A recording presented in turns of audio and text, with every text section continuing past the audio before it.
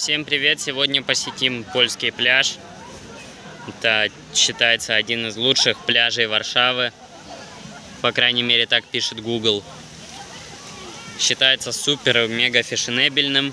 Э, И вообще хочу пригласить всех поляков покупаться у нас на Днепре после войны. Приезжайте. Вы просто будете в шоке, как у нас классно купаться и как у нас развит пляжный отдых. Правда, мусорки для сортировки захватите с собой. У нас их нет. Сверху написано «Джевняный мост», э, деревянный мост. Но по факту здесь написано про рыб. Логика, конечно, прямо таки странная, скажем так. Но здесь уже слабо читаемая надпись. Потому что это фанера, фанера расслоилась и потемнела, и сейчас здесь тяжело что-то прочесть. Ну и в силу этих обстоятельств мы можем только догадываться и расшифровывать эти древние руны. Озеро находится прямо-таки в непосредственной близости от частного сектора. И данный частный сектор мне чем-то напоминает Гишевец. Можете посмотреть видео у меня на канале про Гишевец в Катовицах. Э, Тоже одноэтажный поселок для шахтеров был. А Здесь плавают на лодках класса «Оптимист». Это очень интересное занятие и вообще это очень прикольно. Это такие маленькие лодочки спортивного класса.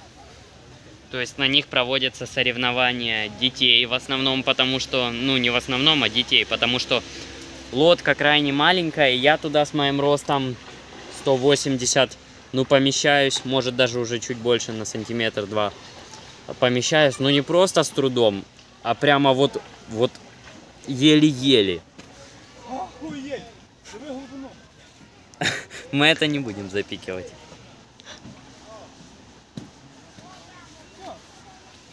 Чтобы вы осознали все. Насколько здесь классное место для купания. Прикиньте. Просто здесь будет повтор дубля. Утка в шоке от моего предложения. Я просто только что сказал, мама, а пошли арендуем парусную лодку, и мы покатаемся на ней. Утка в шоке, она даже есть перестала. Утка, не удивляйся. Хорошая утка. Сели, выпили апельсиновый сок. Только что покормили вот уточек. И покушали сами. Сейчас пойдем, там вот вынаем лодок, спросим, сколько стоит. Ой.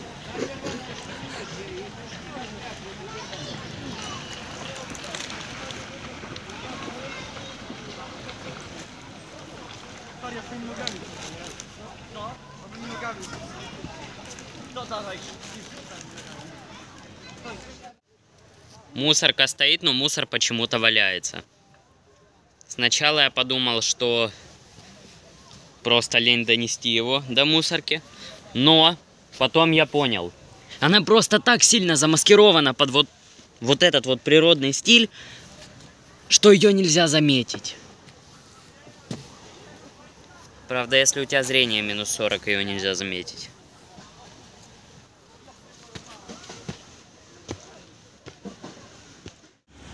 Много алычи на берегу, еще зеленая, но позже приезжайте, будет уже спелая и вкусная. Но она и сейчас неплохо.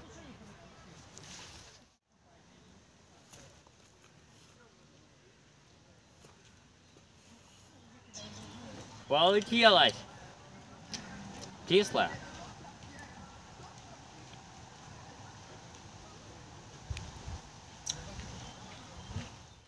Это озеро Черниковское, и это природное озеро. Берег у него совершенно не расчищен, и оно находится под защитой как природный объект. Оно находится прямо в черте города, вон многоэтажки стоят. И с одной стороны его окружает частный сектор, а с другой многоэтажные дома.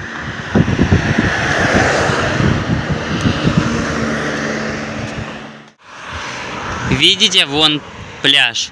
Ой, нет, не там, вон. Польский пляж может быть расположен где угодно, знаете. Даже там. Так, вот пляж. Это маленький уголочек, вот. Вроде бы да. Да, вот. Там людей куча. И главное, больше его не делают. Не знаю почему, может потому что охраняется природа вокруг и этот дикий берег. Правда, судя по количеству бутылок, не очень и охраняется. Плавают. Это причем наши плавают. Прямо кайфуют. Я смотрю, быстро они от- а, отвыкли от Днепра. Может, они просто редко на нем бывали. Но я, как человек из Запорожья, который славится широченным Днепром, Каховским водохранилищем, Хортицей посреди Днепра, самым большим речным островом Европы, я не могу просто на это смотреть без слез. Просто не могу. И классическая польская дача. Ну чё, нормально, прикольно. Мне нравится, супер. Вот такие вот кладки здесь поставлены во многих местах.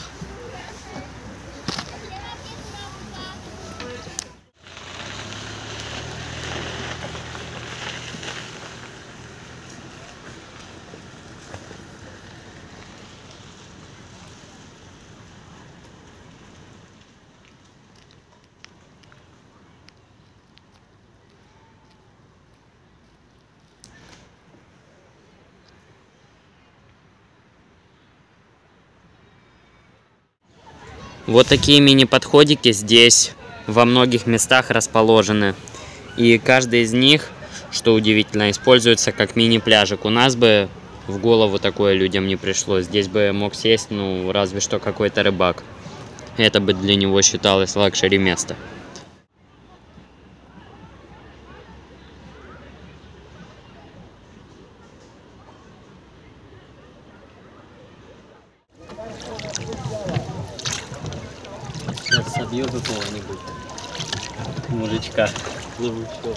Водолаза веслом забью.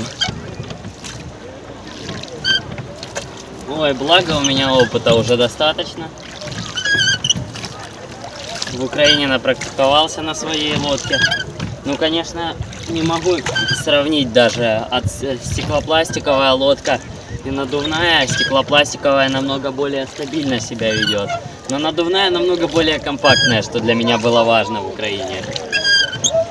И главное, всего 30 злотых час. Это нормальная для Польши цена. Конечно, в Украине я бы на это фукал и бекал, но тут это я уже понял, что это очень дешево для данной местности. Я вам показывал с берега почти каждое место такое вот небольшое, оно используется как мини-пляжик. Но они практически не оборудованы. То есть там может быть какая-то кладка, но ничего более.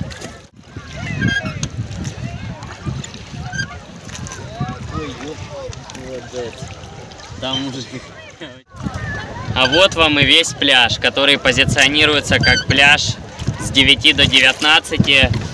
Можно сказать, практически all-inclusive, все включено.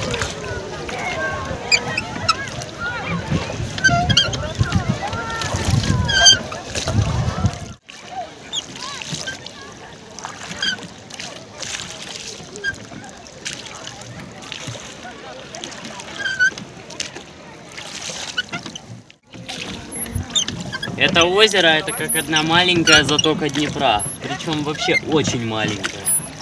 Или как конка. Я понял, что мне это напоминает. Конку. Вот просто точь в точь.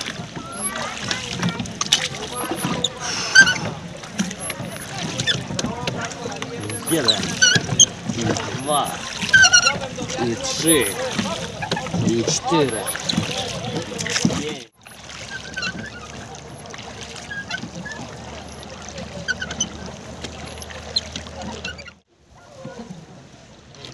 Оценку успеха.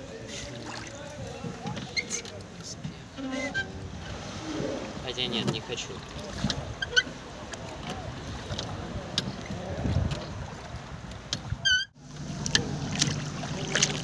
У нас бы прыгали с этого моста и купались, но здесь Только каких-то, ну это по мнению поляков, особенно польской полиции, двое каких-то отбитых маргиналов и экстремалов плавают под этим мостом.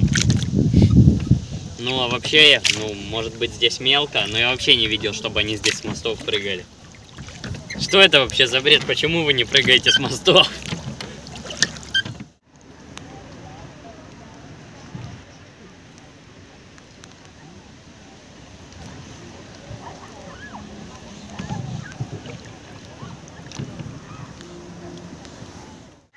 Теперь пляж с берега. Правила поведения на пляже, добрые манеры.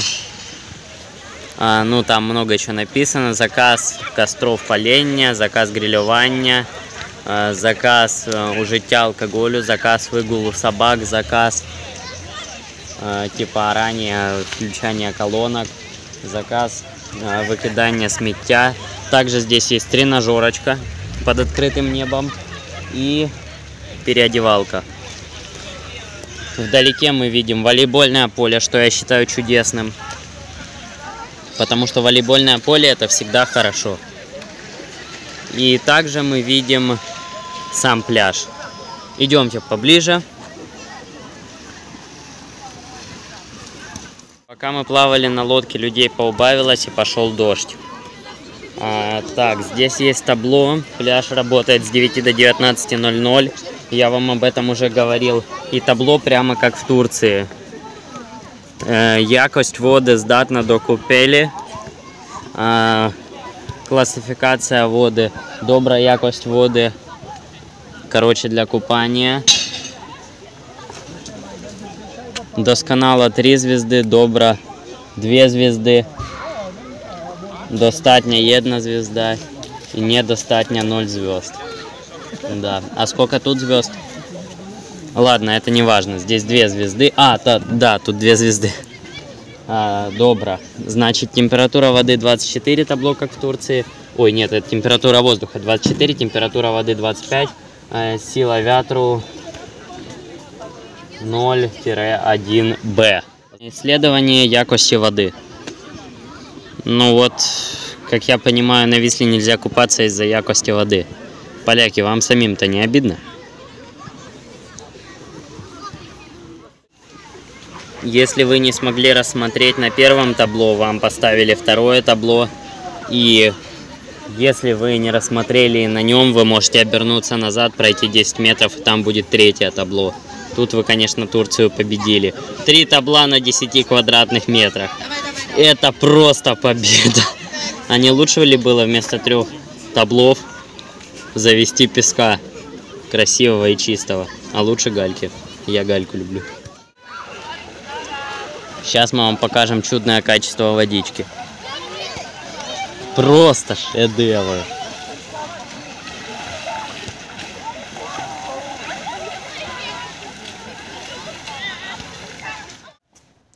Пляж мы покидаем. Такое вот живописное место здесь есть. Мне нравится. В черте города частный одноэтажный, двухэтажный сектор такой вот. Ну, в общем, малоэтажный, скажем так. Приятно. Не режет взгляд, глаз.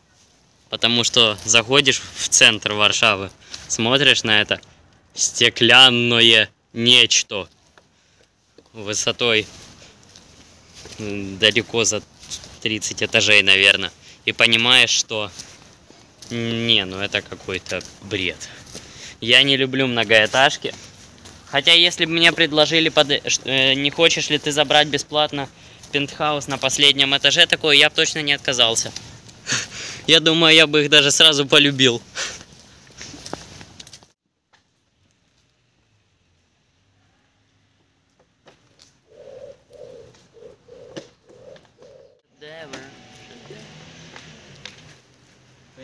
Впереди. Стой, стой уже там оставайся. Здесь много заброшенных домов, хотя, на мой взгляд, район очень привлекательный.